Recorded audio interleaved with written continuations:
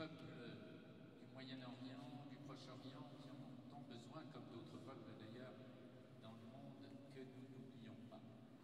Et je suis vraiment très fier, je le dis, en tant que président des Sacrées Journées, d'avoir pu donner la voix, donner euh, la musique à trois amis musulmans dans cette cathédrale de Strasbourg.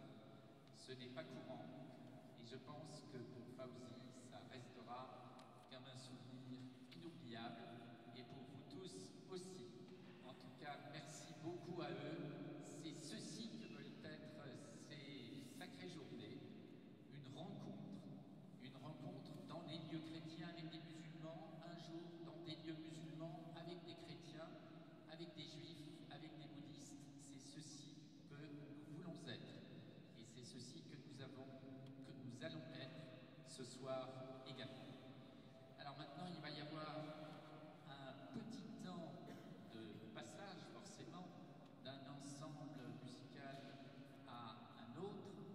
Pendant ce temps, nous allons nous permettre de passer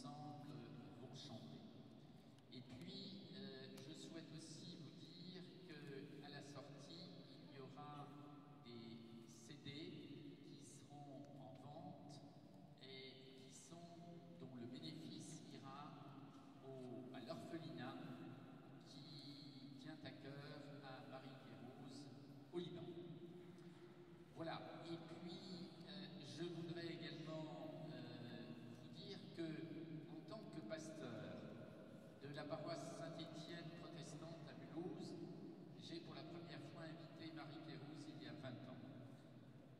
Je ne sais pas si exactement 20 ans, 18, il faudrait lui demander quelque chose de ce genre.